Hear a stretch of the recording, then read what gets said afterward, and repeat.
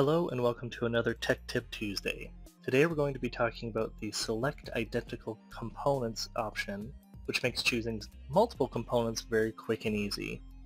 So instead of having to use either some common selection commands, such as selecting identical components just from looking at our assembly, or going to our feature manager design tree here and choosing the multiple instances of this rail wheel, we can use the select identical components command. You can access it from the standard toolbar at the top, and in here it'll open up the command. Here we just select the identical components we want the multiple instances of. We can also do it through the right-click command and get to the selection toolbar, or we can go to Tools, Component Selection, select Identical Components. Within the command, you can have the option to match configuration names, and with it selected, it'll choose all the instances of the component with the same configuration name, or you can have it cleared so it'll look at all the instances regardless of configuration.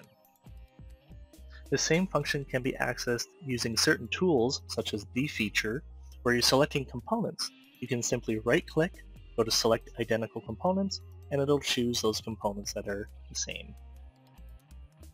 If you have any further questions, please contact us at the information below.